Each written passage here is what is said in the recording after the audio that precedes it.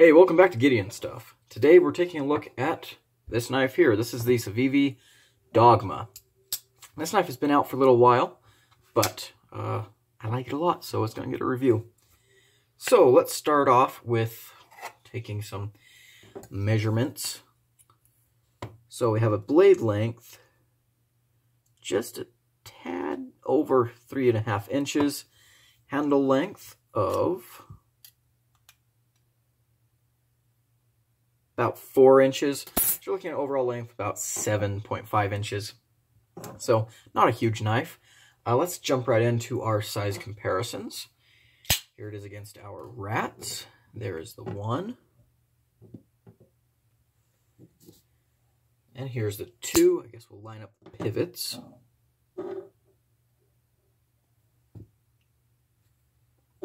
Let's go ahead and bring out the Benchmade bug out. Get out of here, rat 2, or rat 1, that's you are. and the Spyderco PM2. So it's fairly close to bug out size. Obviously, it's a little bit smaller than the PM2. Uh, this is usually where we bring out the Civivis for comparison, but we're going to skip on them for just a second. We're going to go right to our Gerbers. There's the paraframe, the mini paraframe. So, a little bit bigger than the regular paraframe. And, um, well, let's compare against two other budget knives that I really enjoy. There's a Civivi, or the CJRB Feldspar, oops, and the Kershaw Bare Knuckle. Pretty good. And now let's do our Civivi comparisons. Let's start off with the usual suspects. The Elementum, the Praxis. So, kind of falls in between those two. And last up, let's compare against my two favorite Civivis so far. There's some new 2021 models that I want to get my hands on might like more. But there's the Statera and the Corsair. Both of these are unfortunately discontinued, but I like them a whole lot. So, again, it's a little bit smaller than both of those. So, Civivi Dogma, what are we looking at here? On this particular version, we've got a black coated D2 blade, and we have these copper handles with a G10 backspacer, steel clip, steel liner lock, clip point blade. I love clip points, one of my favorite blade shapes. Um, you have multiple deployments, flipper tab, blade hole, ground very, very thin, like Civivi normally does it. I measured this guy at like 15 thousandths, so pretty good. Although, it honestly feels a little bit thinner than 15 thousandths, honestly. But great, great looking knife. You can get these in a bunch of different varieties. Um, they also have a brass version uh, of this, you know, black blade brass. And there are uh, the standard versions have G10 um, with the same pattern, but not the different colors. Um, you got you can get in like a, a black, gray, blue, green, and orange or red or something, bunch of different colors. Satin finish blade. Those come in about $42. This particular version here, I believe, is around 60 And you can also get this same type of version with a Damascus blade for a little bit more. And they have another Dogma out that instead of the blade hole, it has a fuller. You can get those with Damascus and a really neat carbon fiber. And I'll probably get my hands on one of those and uh, I'll probably re-review the knife because I think that's a difference that's substantial enough to warrant a new review. But that's enough rambling for now. Let's go cut some cardboard and let's talk about how this guy performs. All right, let's destroy some cardboard with the Civivi Dogma. So, as I already mentioned, we have a very nice clip point blade here, pretty aggressive. A thing about clip points, a lot of times they have very dainty tips, which this guy is no exception. Pretty thin tip, and especially with a Civivi grind, yeah, pretty darn thin. Um, but that should mean it slices very well. So let's go ahead and do some slicing of some stuff I have left over.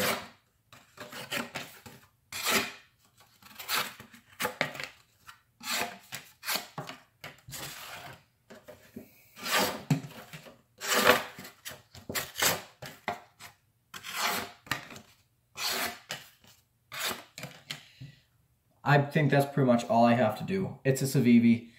It slices amazingly. Um, the ergos are pretty comfortable. They're pretty neutral. As you can see here, it's just a nice little curve.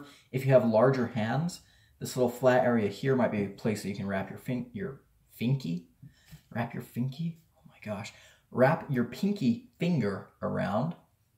Um, pretty comfortable. A little bit of a hot spot off the clip, but you have this very generous forward finger choil here.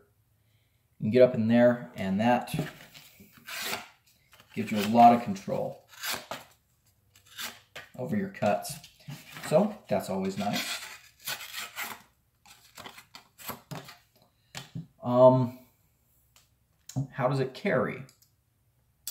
So it has a VV standard clip. It is reversible. Um, flat screws, the clip itself, though, is not set in the scales.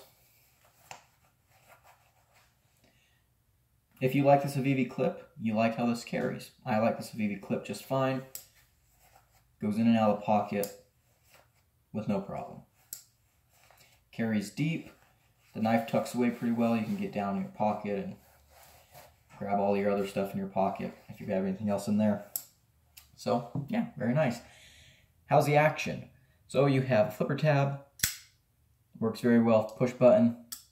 Uh, you have this hole here, you can thumb flick it. You do the good old reverse flick. You can slow roll the knife open. Um, I'm gonna I, I, I I'm gonna get a lot of hate for this, but I've said before in the past, I don't think Civivi has the absolute highest of quality actions out of any budget knife. Um, for example, this knife here, if you try, if you light switch it, it's very easy for, for you to fail it. Um, it's also very easy for you to success, well, for you to successfully deploy it. But, you know, if you're not paying attention, flipper tab is very small. So, you know, if you're not paying attention, it's easy for you to pull it out and fail a deployment. But still, the action is very, very good. You, can see it drops shut pretty good.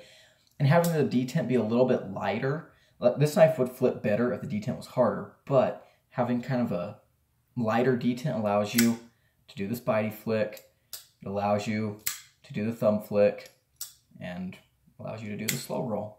So I don't really have a complaint there. It is running on bearings, and the action is good to go. So there's our uh, Civivi Dogma let's go ahead and go back to the table and talk about what I like and what I don't like about this pretty cool little knife.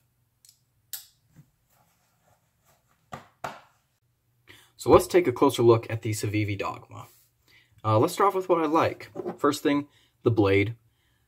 It's a great blade. I love clip points, so I'm a little bit biased there, but still very, very thin behind the edge. You have this nice little sweep here, so you can go through some slices pretty well. Very dainty tip, but in my opinion, this isn't really a knife that you're going to want to expose to harder use environments, so I don't really mind that tip at all. Next thing I like is the variety of this on this of this particular knife. Like I said, D2 blade steel coated or uncoated. You can get Damascus blades. The handle materials, G10, carbon fiber, copper, brass, I mean, you, really, you can find what you want with this knife. Obviously, I have the copper version. Um, pretty heavy. Um, I didn't try to provide a weight or anything for this knife uh, for today's review because the weight's going to vary depending on which one you get. This guy is a, a brick, but I don't really mind it. Um, I probably should have discussed that during the, in the carry, but again, the weight is going to vary between you know, which model you have and, and all that. Excuse me. Uh, next thing. Um, yeah, I like the action. Um, I complained about a little bit, but it's not really a complaint. It's just something I've noticed. Um, no, this action is good. It's reliable. When you go to deploy this knife, you can deploy it, and it's pretty fun to fidget with. You have all kinds of different ways to deploy it. Let's see if I can do a thumb flick under camera. Yeah, I did. Um, all kinds of different ways to deploy it. Shake shut pretty well. Um, yes, you can fail it pretty easily, but you know, if you're paying attention, the action is just fine. Got no problems with it. Um, next, I do like this like jigged bone look they went for here. And and what they did for on the copper and brass versions is they took their copper, they put the pattern into it, and then they blackwashed it. They or they they coated it and then they sanded the coating off. You can kind of tell up here. Um, I think that looks great. I really, really like that. The coating stayed down in the recesses, but the high areas were polished off. That's really cool. It gives it kind of a vintage look. Um, do I have any jig bone slip joints laying around? Not within easy reach. But I think it's cool, and especially with this bolster. I love bolsters on knives. And this isn't a real bolster, it's a fake bolster. Or it's just like a bolster effect. But I like it. It's it's cool. It, it's different. It gives this knife a very unique vibe. And you can't argue with that. So, yeah, 100%. I'm a fan. Um, next up that I like is the clip is reversible. And the clip in general. Civivi has good clips. Plenty of tension, as you can see here. Material of your pants goes right under there. Slips over pretty nicely. I really don't have any problem with the um, clip not being sunk into the scale as far as getting it in and out of the pocket goes. The reason I sometimes I, I, I complain about that is because it can lead to some clip wiggle on this guy. It's just a hair of clip wiggle, but not enough to make me mad. Um, so yeah, and it's reversible for lefties. That's pretty great. I like seeing that. Um, next up, it came from a, it came really, really well, uh, fit and finish wise. That sentence did not make any sense. Um, it came from the factory in good condition. You know, perfectly centered, no blade play, no lock rock. The lockup is solid. So, yeah, no complaints there whatsoever. Um, next, the hardware is all nice. Civivi's known for this. You have T8s all over the place. In fact, I even think the clip screws in this case are T8s. Let's check that real quick.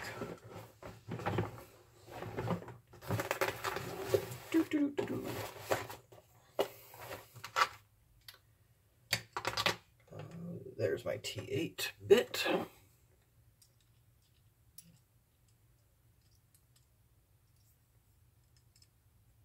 So that's T8, and that's T8, but no, the clip screws are T6. I kind of thought they might be T8 since they that screw was a pocket clip screw as well. But nope, the, the clip screws are T6, but that's not really a problem. Most of the time with a clip on a pocket knife, you only have to take the clip off once, put it on the side that you want, and you're good.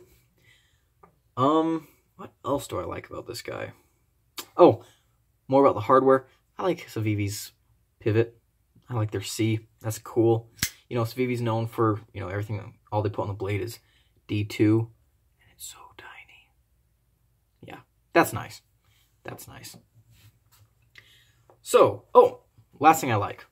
Getting ahead of myself. The ergos. Yeah, I, I don't really have a problem here. It's comfortable. You know, you have this choil that's really nice you can choke up into. Really got no complaints there whatsoever. Um, oh, and Axis the liner is not like it, it's kind of medium. Like it, it's good. It's not something I'd consider bad, but it's average enough that I wouldn't really rave about it. So that is nice. What do I not like? Um, I am actually not a big fan of this lanyard hole in the in the G10 for some reason. I don't know, I kind of wish they'd done their, their hidden lanyards like on... Do I have a Civivi laying around here that has a hidden lanyard? Oh, come on, I've got to. Somewhere. There's this one. Nope. Okay, well, I'm not going to dig through my Civivis right now, but I think I could have done that lanyard hole better. And that's it as far as complaints go. that's it. So uh, let's go on to the final conclusions. So what are my final thoughts on the Civivi Dogma? I love it. I love it. This is actually one of my very favorite Civivis of all time. Um, it's just fantastic. And for you, if, if you're thinking, well, you know, should I buy it or should I wait? Um, it all comes down to the person, to your, your personal preferences. Do you like clip points? If yes, well, yeah. Do you like the um, old-timey jig bone look?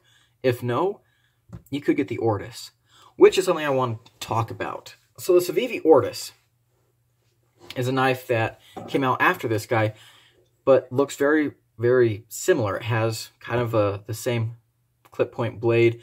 It's a little bit different. It's a little bit, a little bit fatter, if I remember right. I haven't held one in a while, but um, it's cheaper too.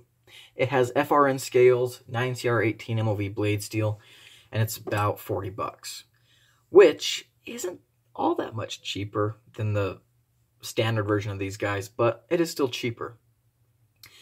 Um, do I think that the Ortis is um, giving the Dogma a run for its money? Maybe. Um, I need to get an Ortis.